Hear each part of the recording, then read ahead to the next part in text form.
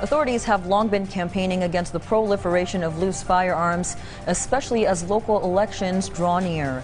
Thus, the Philippine National Police is going out of its way to make the registration of firearms more convenient for gun owners. Exactly how, Patrick De Jesus reveals in this report.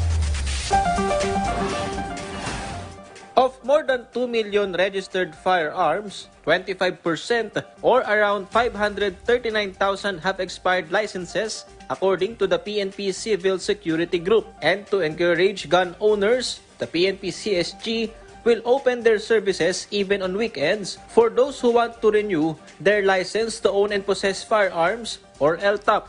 PNP CSG Director Police Brigadier General Benjamin Silo Jr. said the weekend schedule will start this Saturday, June 10. To include yung satellite offices namin, pati yung mga SAC namin, yung stakeholders, assistance centers, para sa convenience ng mga kliyente namin.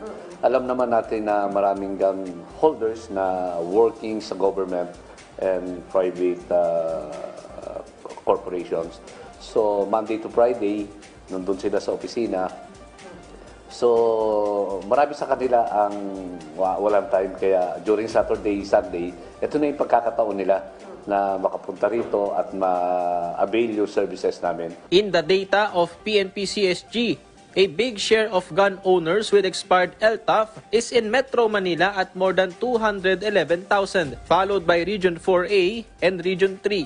The PNP CSG is also open in conducting caravan at offices to make their services more accessible. The campaign in LTAF renewal is to curb or at least reduce loose firearms, especially that barangay and SK elections are approaching.